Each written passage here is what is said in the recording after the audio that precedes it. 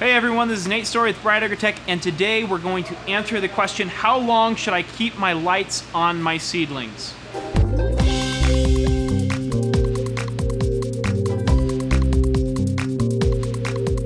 So duration of light exposure for your seedlings is a great, great question that everyone should be answering.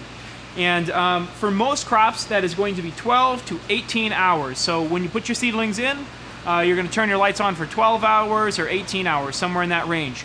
Now, you can turn your lights on for up to 24 hours with a lot of different seedlings. But here's the caveat. It depends on two things. It depends on the cost of your lighting and the cost of your real estate. So rack space in your seedling system, if you just have one seedling system or one area where you're able to grow these seedlings out, that's valuable space. And you have to think about that as a cost. On the other hand, you also have light and your electricity use. That is also a cost.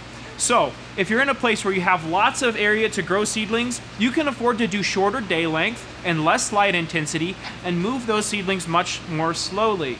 However, if you're in a place where your real estate costs are high, where you have limited rack space, you have limited seedling space, you want to give them more light and move your seedlings a lot faster. So those are the two important things to think about as a grower. What do you care about more, your space or your electrical use? And uh, for us here at Bright Agrotech, we kind of split the difference. We end up about, oh, halfway between them. Most of our crops are on for about 14 hours a day, and uh, we can push almost everything through in about two weeks. Um, at most, for really slow growing stuff, about three weeks. So just think really carefully about what's most important to you. Is it real estate cost or is it light cost?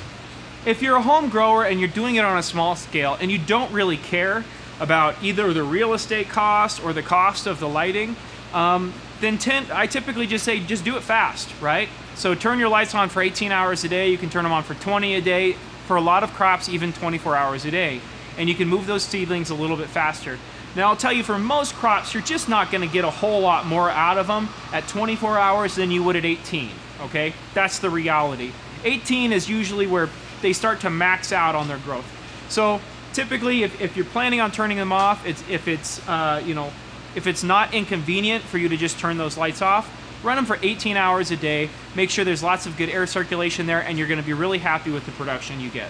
So one last thing to think about is if you're at 12 hours a day and you're in this nice protective seedling environment, you will kind of want to harden off those seedlings before they go into the main system.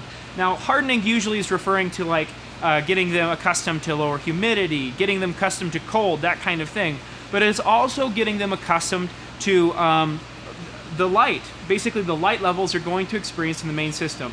Transplanting re results in a lot of shock for these seedlings. So they'll shock, they'll slow down, they won't grow as fast when they first go in. And for you as a producer, that's an important thing because that lowers your productivity overall. So you want to minimize shock. And the way that we do that is we ramp up our light, we drop our humidity, we more closely make our seedling system variables resemble those of our main system as we get closer and closer to transplanting day. That's something that's really important to think about because it may mean you need to go from 12 hours of light to 18 hours of light. And you may need to go from 100% relative humidity down to 70 or 60 to make sure that your seedlings aren't too shocked when they go from seedling into the grow out system. Hey, thanks so much for watching. Um, as always, please subscribe, and if you have any comments or thoughts, we'd love to hear them below.